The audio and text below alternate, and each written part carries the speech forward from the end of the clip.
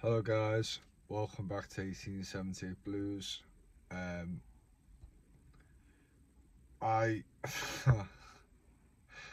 just before I get into this match reaction, if you could like, comment, subscribe, subscribe because it's gonna make me feel a lot better after that fucking calamity at the end of the game.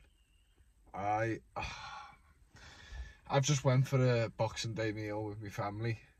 Obviously, well, no, obviously you don't know when I went, but I went to watch the game. I, I went home from work, watched the second half, seen the highlights in the first half. Abs, don't even get me started on them fucking chances we missed, and I um seen the second half, and you know what? I really, really wished I was in work a lot longer. I really wished I decided, you know what? Fuck Everton. I've had a good break in the World Cup. Fuck Everton. Let's just stay in work and then I'll leave about 15, 20 minutes before the game ends, drive home, get like a little quick wash and then go to to the meal and if I don't look at the highlights, if I don't see any of the goals, yes, I will find out that we've lost right at the fucking end. It won't hurt as much because I haven't seen it. It'll fucking piss me off. But I won't watch it because I don't want it to ruin. I don't want it to ruin my Boxing Day meal. Um, Christmas has been shit. I don't even get into it, but it's been shit. And I just thought, I don't want Everton to make it worse. Can you just make one festive period of my life with Everton fucking good? Please just don't ruin anything. But it's been shit as it is anyway. And they've made it a lot fucking worse. Um, to get beat in the end like that, doing uh, Wolves did to me when I watched the second half, did absolute fuck off. They just sat back, played for the draw, which I don't blame them because they're 20th. Um, I mean, even their fucking, their new manager put centre backs on and fucking defensive, defensive minded players to, to, to hold on. Not really hold on, we did, we did absolute fuck all going forward. We looked like we was, we hated each other. I mean, we was whacking the balls at each other. Uh, sorry, that, we was whacking the football at each other like we didn't like each other. Like we was pissed off with, with one another. It was we had no idea what we was doing. We was just hoping for any drop ball, hoping for any mistake from Wolves, just put a bit of pressure on them because there's no fucking class in the squad whatsoever. It is.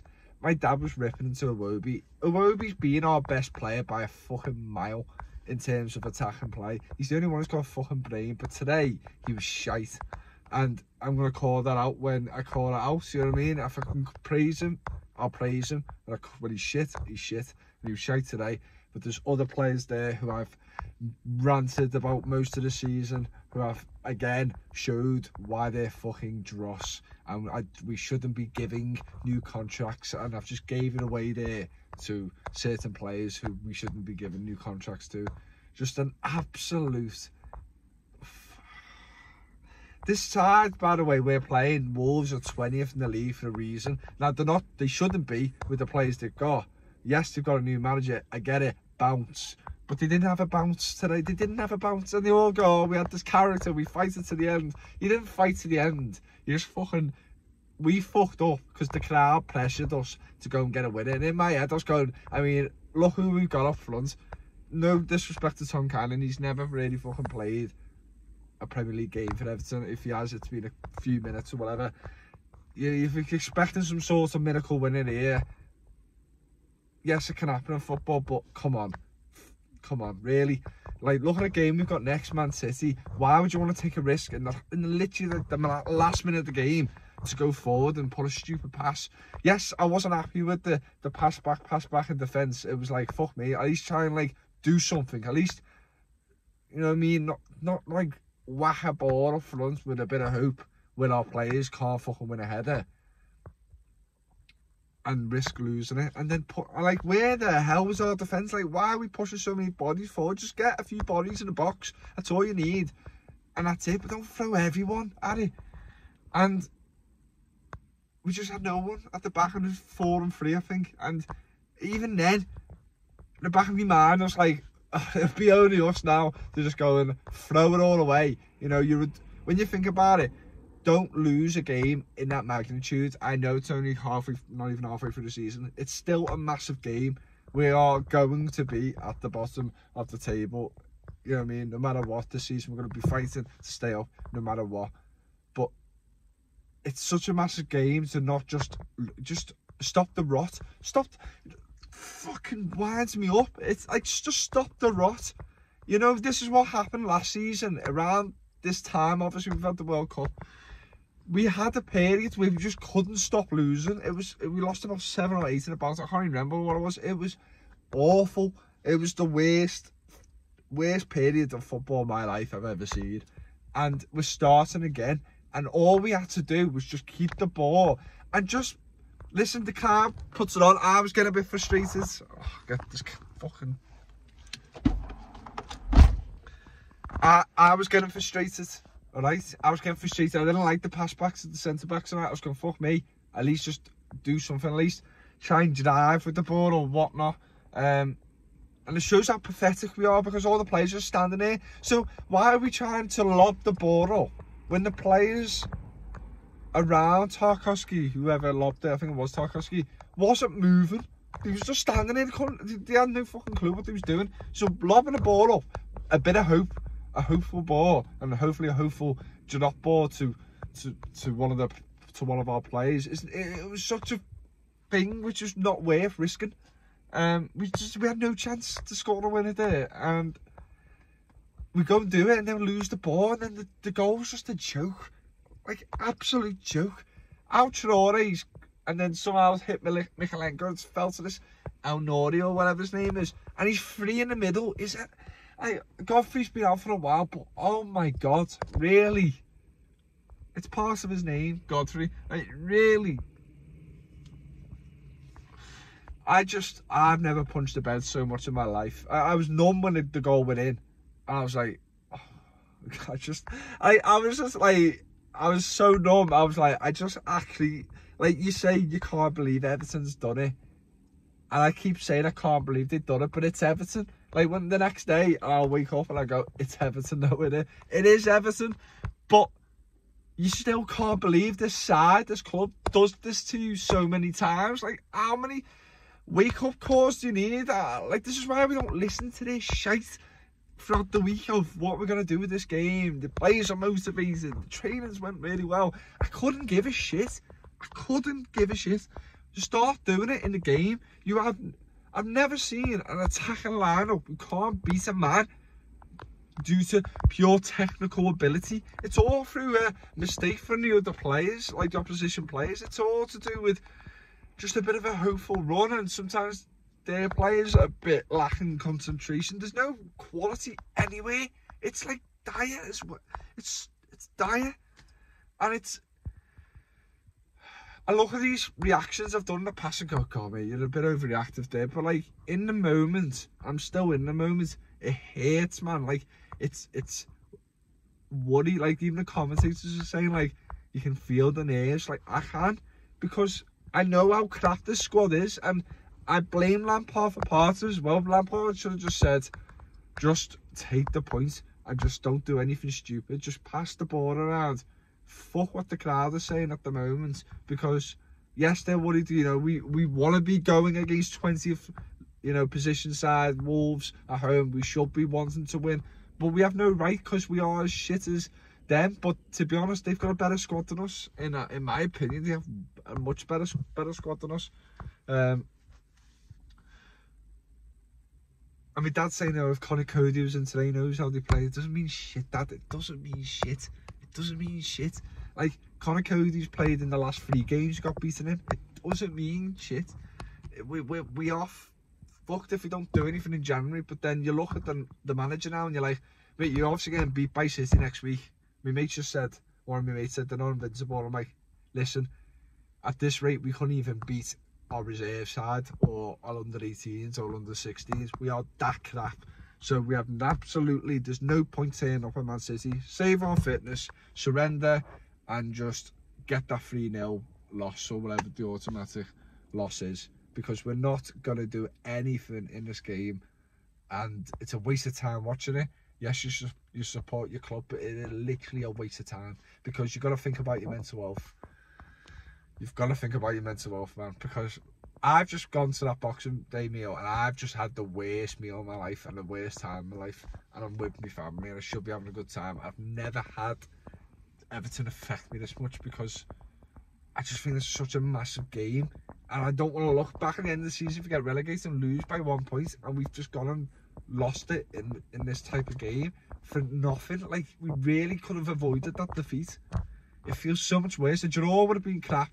And listen, throughout the game, what we you know the second half I watched, we was abysmal, absolutely abysmal. Apparently, I, according to people, we, we, we had control of the game. We didn't. Wolves sat back because they know the shit going forward. They're just good at counter attacking teams, and well, they're not good, but they're all right. And you know, it's just they was there to, to get a point and just you know start off good with the, the new manager. He was, he, and we just basically threw it away, just gave it to them.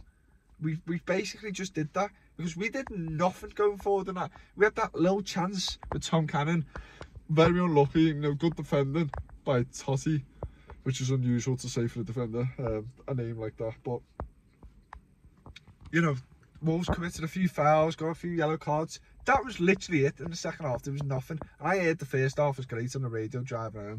You know, fantastic game, full of mistakes everywhere. And look, we made another mistake. It's a crucial mistake, and it's just a load of, uh, just a load of uh, utter dross I'm watching. I, I just can't, I can't believe this is the Everton side. When you told me five, six years ago, getting taken over, loads of money coming in. Yes, yes, yes. I was rubbing my hands, rubbing my hands. And I was like, this is it now. This is the change. This is what we needed all along. And we've got a whole like we've gone. I've never seen us this bad. Like the whole squad is just awful, awful, awful. Ah. Uh, Mina's goal, great header again goes off. I mean, I might as well just put a bet on every game that he's going to go off as a sub.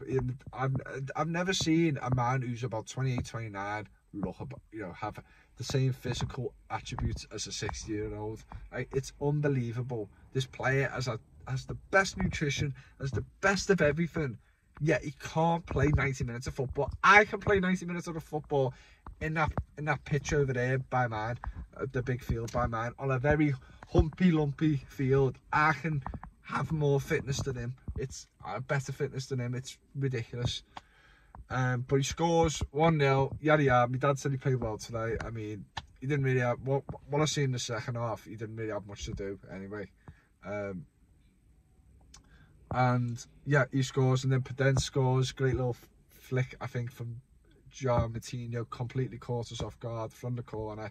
Um, and then Podence is there just to you know, just to slide it home on the half volley. And then, yeah, obviously they go at the end. And there's really nothing much more to it. What I've just seen, Gordon at the first half, I've seen one of his chances. Apparently, had a few, but it was a chance where he should have just buried it in the, in the on the side of the goal where he was directing himself towards, because he would have just put power on it, and José Sá would have been nowhere near it, because he had full control of that ball, and he goes and goes to the other side where I don't understand if he's trying to trick José Sá at all. But to me, if if you're that close to goal and you've got that, you know, you've got quite a bit of that side of the goal to aim at, just smash it. You go, it's going in. If you save that, like man, literally will never get beaten again and go. You had the, oh, just. And Maupay just dreadful, dreadful finisher. I don't, I don't understand, man. I don't think he's that bad of a striker, what I've seen from him in the past. Yeah, his goal scoring record isn't great, but he hasn't played.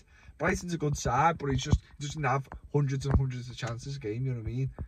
But I just thought he'd be at least a bit more clinical, and he's, he's still fucking shite. And yeah, um,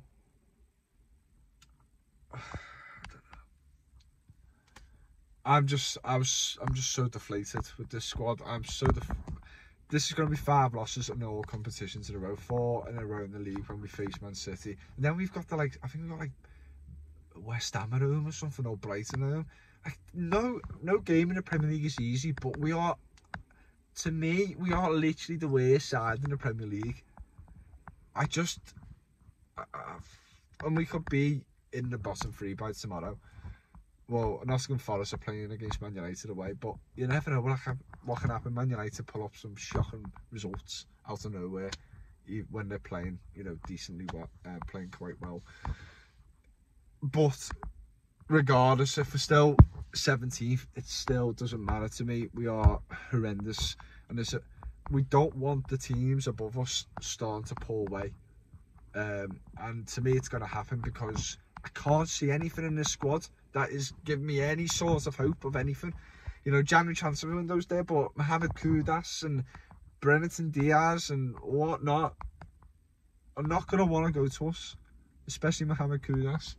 We had the chance to get him, and obviously Ajax really pulled the strings to keep him. But I can't see anything. I can't see anything with the squad. Like, it's that bad. It is that bad. Onana today lackadaisical, man. Like, mate, you've been in the Premier League now for a few months. You should know it's quite fast paced. If you're just not that type of player, then you should be playing for the should be playing for a team like Man City. You've got all the time in the world on the ball, and likes and the likes of that. With us, we need players to be just on it all the time and just be like aggressive and pacey and have something about them. Like Onana, there's just too much raving about him. Like, mate, he's, he's not doing enough to me on the pitch than anyone else. So him, he was Dross, uh, Roby was Dross, Gordon's just always Dross to me. I, I really, last season, I praised him a lot because he was one of the few in the team who really put his foot in and just pressured and just put a lot of pressure on and just fighting for every ball. That's what I liked about him. But to me, he's never really had quality, that, that, that much quality. Let, let's be honest. You see most of his goals, apart from the goals against Brentford and Leeds, good finishes, one one on one. Apart from them, I can't really record too many goals Just scored when I'm like, ah, really good, decent by Gordon. The most really being deflected, like two two yards out tap-ins, nothing spectacular. And we should have got rid of him when we had the, the offers coming in, but it is what it is, and apparently signed, wanted him to sign a new contract. Defensively, we wasn't too bad apart from the end. Um, but they had not nothing much to do. Diego Costa looked like he could play in the MLS now. Like he, the, the the man's lost it. Um, I just the wingers. I don't want to go on about them again because we just know what they are. Janos centre mids. Idris Gueye to me played quite well. Um, but yeah, could have been a red card with that high, chat, you know, high foot challenge. I don't really think Idris Gueye was putting his head in. That's when you get away with the red card. I mean, other games I've seen worse for the red card and that could have changed it. But then it wouldn't because a team with 10 men then would just sit back even more and we can't even break down a Jenga tower, never mind any defence in this league when you sit back. So I needed this rant. I just told my parents they're in the house and I just said, listen, we've just come back from this meal. I'm fuming. I'm going to swear my head off. I don't swear in front of my family members. It's just a thing I do. I just don't do. And I just said, I'm getting in the car, I'm going to fucking swear my head off. I'm just going to rant, and I need it because it helps. And I didn't have the opportunity to do it before, so it's a bit of a late reaction. But um, yeah, which were well and truly done to me. And I don't want to say it too early, I said this all last season, but we always had that little bit of hope of Richarlison pulling a goal out of nowhere. Richarlison was awful last season for a large periods, but he always had the potential to just pull things out and he always you know you felt like two players which Richarlison running running running closing down. You just always had a chance of him. Um, and we haven't got that now and we've got a, a, a Dominic Calvert-Lewin's going to probably play about eight Premier League games this season because the guy's just never fit. He's never fit. And when he does get injured it takes ages to recover through little small injuries. It's just you can't rely on him and that's our mistake this summer. We just relied on him and panicked bad. Again, Maupay again. If we just whoever we bring in, this this club's just got a curse. You can bring all the staff in from Newcastle and we'll be we'll be even worse, or we'll be exactly the same now. It's just this. I don't know what it is. I don't know what it is, and I can't really put my finger on who to blame anymore because changing a manager is it going to do anything? Me, it's not because they're just these players are shite. Like they are shite. We're trying to build it up slowly, but it's dangerously slow because we're really dropping down the table. And today we could have stopped stopped the rot, but we didn't, and we've made it a lot worse for ourselves now. Um, especially losing at the end, it fucking hurts, man. But yeah, before yeah, I'm just gonna stop because I could go on for about an hour because I really needed to just rant. Um, so anyway, technically Christmas hasn't been ruined because we played after Christmas Day, but it's still in the festive period. We're still shite, and they just disappoint me every time. And I missed the World Cup already. So anyway, um, yeah, I'll see you probably for a match preview for the Man City game. Don't really want to do it. Don't really want to do a match reaction, but I'm going to do what I have to do. Um, and hopefully I might do another little mini video maybe uh, before then of something else, but I don't know. I'm going to sort my audio and camera out as well, so that's my objectives. But anyway, I'm off. Um, thank you for listening. Um, nearly 21 minutes, I've ranted more than enough. Anyway, see you later.